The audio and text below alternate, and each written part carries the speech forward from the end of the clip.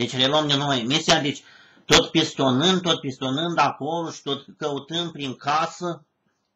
uh, tata după asta schimbă, că nu, doamne, să ne un dial și dialul ăla, uh, acel dial genera o undă de șoc care schimba toată placa, deci s-au dus acolo ruși, au băgat mii de tone de apă, din asta, zeci de mii, sute de mii de tone de, de polimer din ăștia, uh, fals, este fals, uh, vă spun sigur, deci este fals, uh, polimerii ăștia și substanțele erau date pentru lovituri de astea microscopice, deci provocare de accidente vasculare cerebrale la diferite persoane, uh, vedeți că se lucra mai mult cu microscopul, și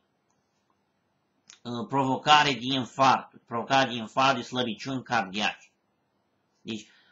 nu se putea acolo pentru că populația s-ar fi alertat dacă ar fi venit asemenea, să spunem, vapoare care ar fi uh, pus, să spunem, uh, apă acolo în diferitele izvoare subterane,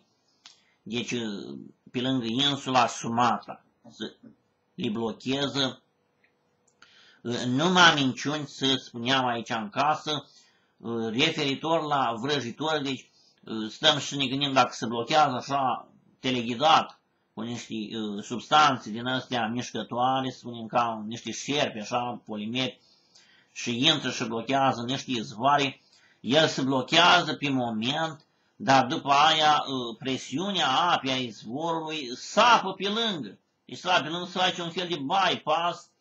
și dopul ăla este, să spunem, cumva bypassat prin convexitate sau chiar aruncat în față. Deci fals complet, cu totul altceva se făcea, eu am văzut și la noi se făceau niște experimente în casa mea, dar cam pentru asta erau, pentru montarea de accidente vasculare cerebrale și deci uh, infarctul. Ce făceau acei vrăjitori era altceva, deci uh, când prăbușeau câte un anumit deal, deci uh, se săpa acolo foarte mult, în niște râpi din asta, săpau niște tuneluri sub dealul respectiv,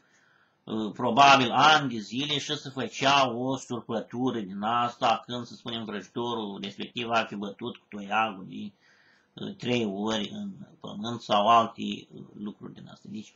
nu era adevărat, încă o dată vreau să spun, părinții mei menționa, uh, făceau aici o atmosferă de așa de ceață, ceață de minciuni care, să spunem, mă debusola complet